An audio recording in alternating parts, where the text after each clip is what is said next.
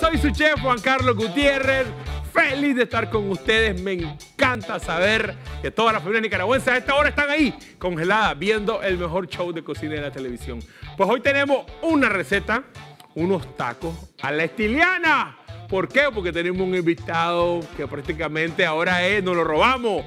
PR, Puertorro, en the house. Ya saben ustedes ahí lo que están viendo. Pues unos taquitos de pescadito. Hoy van a ver qué delicioso, qué diferente. Y entonces tenemos a este joven maestro, profesor, el gurú del baloncesto en Nicaragua, el entrenador, el coach del Real Estelí baloncesto. Nada más y nada menos que de Puerto Rico, ahora de Nicaragua, David Rosario. Dímelo, papi. Aplaude, Chalo. ¿eh? ¿Qué me les pasó? ¿Ah? emoción. Usted nos representa ahí. ¿Ah? Gracias. Gracias, Gracias por haber estado. Agüita. Ustedes ¿Cómo son no? bien light, yo sé. Agüita. Tenés la, tenés la pinta. Yo tenía un amigo así de, de, de- de dominicano puertorriqueño. ¿Ah? ¿Te gusta? ¿Bailan? ¿Es cierto que todos bailan? Bailamos, por lo menos yo bailo salsa y merengue. Aquí tenemos otra productora, es experta en salsa. Qué bien. También hemos tenido invitados de las mejores escuelas de salsa. Aquí le dicen ahora en Nicaragua, no le dicen fiesta ni pachanga. Le decimos, no sé por qué, porque a mí no me gusta tanto, sociales. No, no sé, no, no, no, no va el nombre. Pues nada más y nada menos que tenemos esta personalidad aquí. Yo estoy extremadamente emocionado. Tres años fundado el equipo, tres años campeón, primer centroamericano, campeón. Ah, yo no sé cómo decirlo, pero yo creo que ahora sí vamos a trascender. Vamos a pasar el charquito. Podría pasar ese milagro, ¿verdad? Bueno, ya estamos jugando en la FIBA Champions League ya por segundo año consecutivo. Tenemos un proyecto abarcador en términos de, de categorías, eh, torneos nacionales y demás internacionales. Estamos contentos de, de trabajar con el Real Estelí. Increíble. Y estar acá, por supuesto. Increíble. A mí me gusta y ya no lo robamos. Esto es una historia de éxito. ¿Cómo alguien se desprende? eh, ¿dónde, está, ¿Dónde estabas antes? ¿Estabas en Puerto Rico o estabas en otro país? Bueno, yo eh, dirigí en Puerto Rico y dirigía también en Panamá. Ah, ok. Y ahora estamos aquí en Nicaragua. ¿Y qué, y qué te ha parecido Nicaragua? Contanos. No, me gusta Nicaragua. Ya estuve seis meses la- la- el año pasado, llevo siete con esta. Es un país muy bonito, con una cultura extraordinaria, buenas amistades, buenos compañeros, Sí. mejores amigos. Sí. Así que estamos contentos de estar acá compartiendo con todos ustedes y con la gente a nivel de, de pueblo, a nivel general. Y Gracias. en el deporte del Gracias. baloncesto, que es al cual nos dedicamos. Gracias, le decimos bienvenido, le decimos gracias. Ahí te voy a hacer unas preguntitas más, porque dicen que estos chavalos son románticos, dicen. Me dijeron que son, que son arrechos a, a- a tener saliditas esporádicas. Aquí todo se sabe, ¿viste? Bueno, Aquí todo se sabe, ¿viste? vamos a ver Muy qué bien, pasa. está muy bien. Por favor, apunten la receta para que miren lo que vamos a hacer y después nos quedamos platicando. Por favor, apunte, ahí está, tómenle fotito. No se mueva, vámonos a cocinar.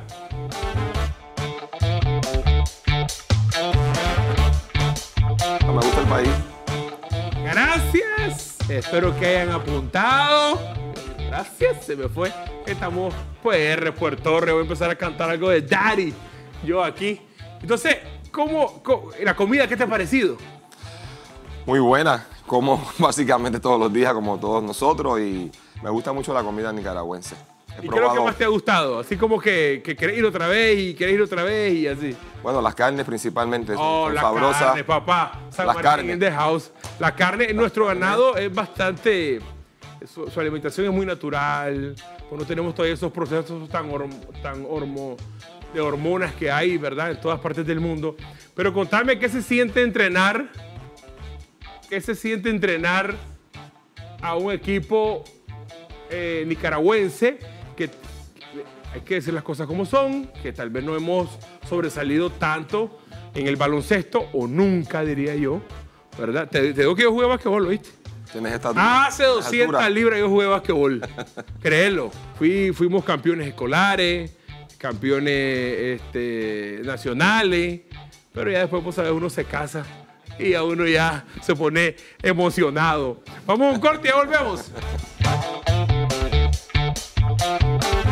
Seguimos acá, gracias por estar con nosotros. Vamos a empezar con la receta. Ya nos quedan más o menos 12 minutos. Y el pescado es algo rápido. Usted que cocina, usted sabe. El pescado es fly, fly, rapidísimo. Ba- fa- básico y fácil. Vamos a poner aceitico de arroz, full llama. Yo por eso a veces cocino rápido, es lo que les digo yo. Ya tengo la- el sartén precalentado, ya tengo varias cositas avanzadas que me lo hace fácil. Y si abrimos sería más rápido. Sí. A ver, poco, más o menos hay una cucharadita y media de aceitito. Vamos a sazonar el aceite, picante, para resaltar sabor. Sazón completo, pimienta y romerito. Eso es todo. Ponemos nuestro pescadito. Puede ser cualquier, est- esta es una curvina, pero puede ser cualquiera. Puede ser tiburón, anguila, camarones, lo, que- lo- lo que se te ocurra. Sazonamos un poquito más. Y un ¿Le gusta el picante un poquito? No, Poquito. solo es para resaltar sabor. Ahí está. Siempre lo haces a fuego alto. Siempre porque quiero crear esa corteza crunchy, como es un taco. Y la verdad que el pescado, más cuando es un filete, o el pescado en general es bien suave, la textura. Y por eso hay gente que como que, increíblemente, hay miles de personas que rechazan el pescado, no les gusta. Pero porque es tal vez muy suave al paladar, la textura. Entonces a mí me gusta siempre dejarle una, una corteza. Estoy aprendiendo algo porque yo lo hago a fuego muy lento. No, no, no, no, no. Y el problema de fuego lento es que si usas aceite de oliva, Sí. Ahí está.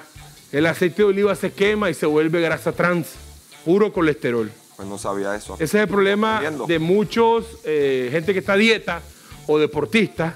No, no, todito con aceite de oliva, sí, pero los aderezos y las ensaladas. Para cocinar, un aceite vegetal, un aceite de arroz que aguanta temperatura y no se quema. Al quemarse, se vuelve grasa saturada. Se pasa eh, de, de ser eh, aceite líquido, por decir así, a aceite grasoso. Ah, bueno. Aquí vamos. Vamos, Vamos a corregir eso de, de- de hoy en adelante. No, no, sí, sí, sí, sí, increíble. Vamos a dar una. Ya dimos el tip de la noche, pero vamos a tener que dar otro. Así que no se mueva, vamos con el tip de la noche.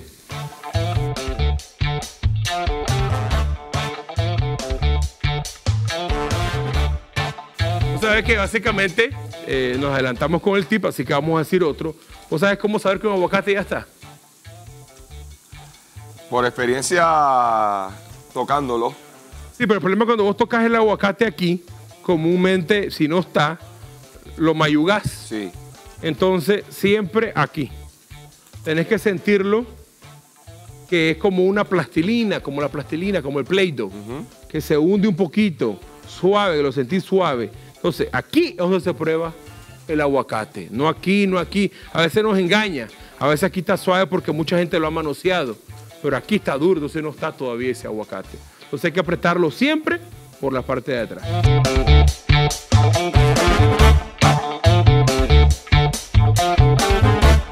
Aquí estamos, aquí estamos. De regreso, vamos adelantando, tenemos una verdurita. Ahí está. El pescadito, vos sentís cuando vos te penetras así, que se está haciendo la, la costrita. La costrita. Y es más que todo irnos preparando a la presentación. Entonces tenemos pepino. Yo le dejo la cáscara, le dejo todo a este taquito. Vamos a hacer unas eh, laminitas. Hacer unos dos taquitos aquí para que coman varios de las bellezas que andan aquí ayudándonos a este bello programa. Suficiente pepinito. Aguacatico. ¿Se come mucho aguacate en, Sí. en Puerto Rico? Sí. Bastante. ¿Ya viste? Entonces, ¿qué va a pasar? ¿Por qué yo me traje este aguacatito si vos querés un poquito pasado de maduro? Ya vas a ver por qué. La gente muchas veces lo desperdicia, lo bota, y no es así, pues. Ahorita lo vamos a hacer eh, una tipo salsa. Le ponemos. Y cualquier colorcito que no nos guste, en la salsa se disimula. Ujú. Vamos a ver un corte mientras saco los aguacatitos y volvemos, ¿te parece? Claro. Ya volvemos, no se mueva. Maduro, no. Gracias, gracias por estar ahí. Estamos truco. emocionados hablando del aguacate. Sí, señor. Que, que- que no encontrábamos. Entonces, mira. Al aguacate no le he hecho nada, ¿ok? Ah, ya le di vuelta al pescado. Pimienta. Sazón completo que lleva perejil, ajo en polvo, un poquito de romero, sal. Y vamos machacando con un tenedor. Lo, puede- lo pueden hacer en una lo pueden hacer en una licuadora. Pero lo hacen en su casa. Aquí es para esa gente de que no quiere usar la licuadora solo para batir un aguacate.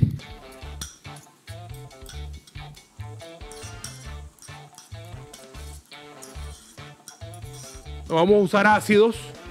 Eh, los deportistas en sí producen mucha adrenalina.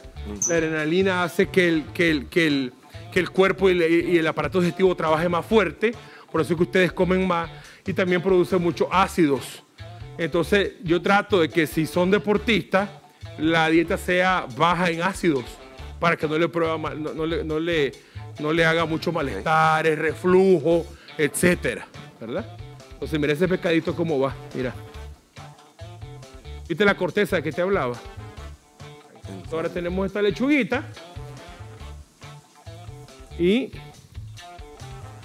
yo ya la tenía casi deshojada para hacer los tacos. Aquí no va a haber carbohidratos, pura proteína con vegetales, que yo sé que ustedes ocupan mucho carbohidrato. Pasta más que todo. ¿Qué come un deportista? Estos chavalos que están haciendo ejercicio, todo. comentame. Todo lo que has mencionado. Hay algunas excepciones. eh, también comen gallo pinto, ¿eh? Ajá. Pero básicamente lo que has mencionado es la, ens- la ensalada, los vegetales, las verduras, las legumbres eh, y el arroz, obviamente, y la pasta, principalmente. Comen mucha pasta. Necesitan energía. Correcto. Mira. Adicional a suplementos vitamínicos, entre otras cosas. Está bien. Entonces un chavalo que se está cuidando, eh, básicamente un balance de todo. Proteína, pasta. Mira, ahí Y sobre ya- todo muy, eh, buena hidratación. Oh, claro, claro. Entonces tenemos pepinito. Pepinito. Pepinito. Vamos a ir sacando. Vamos a apartar esto un poquito para acá. Vamos a apartar, vamos a sacar el pescadito. ¿Sabes? Tenemos crunchy, tenemos corteza, tenemos ese toque a chicharrón que estamos buscando. Entonces, más o menos de una filete puedes sacar tres.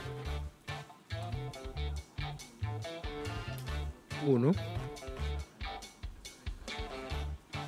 Dos. Y tres. Tenemos el aguacatito.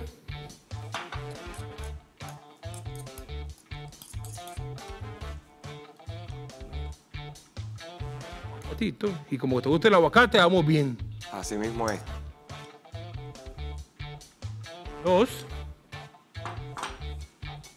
Ya viene el, amor, el mes del amor. Estamos en el amor, en el mes del amor y la amistad, así que todo es romántico. Viene Semana Santa, todo es fresquito. Papá. 14 de febrero. ¿Estás con tu familia? ¿Estás soltero? ¿Cómo estás acá? Ah, ¿y por qué se ríe? Estamos acá tranquilos, estamos bien, gracias a Dios. No dijo Eh, nada. el domingo es el, el- el día oficial, el día 14. Sí. Vamos a poner estos limoncitos de adorno nada más. Este es naranjagria, perdón. Está mucho más económico que comprar un limón. Un limón está carísimo, brother. Estamos hablando de que un limón sin semilla que vale 7 pesos. y la naranjagria vale 10 y le saco cuatro veces el jugo. Entonces, esa es la, la filosofía. Entonces, gotitas de limón. Mira, papá. Mira eso. El montón de jugo. ¿ah? Para. Y yo sé que no te gusta, pero no lo vas a sentir, te lo prometo. ¡Pra! ¡Pra! Ah, papi, ¿cómo lo ves? Pruébelo, por favor. Venga, bájese, bájese. El mejor entrenador de baloncesto Probar el taco. Ahí está el taquito, divino. Para toda esa gente que me pidió recetas light. ¿Cómo está eso? ¿Cómo está eso, goño? ¿Ah? Sabroso. Está buenísimo. Estamos activos con mi hermano. Sigan, por favor, al mejor equipo de baloncesto a nivel centroamericano actualmente, Nicaragua. Gracias por ponernos en el número uno. Le agradecemos, lo acogemos y lo hacemos, como diría Daddy. Te acojo como un miembro más de mi familia. Gracias a vos por la invitación. Estamos activos, estamos activos y nos vemos hasta la Sabroso. próxima. Aquí, aquí, aquí, aquí, aquí. Los quiero, Estelí, los amo.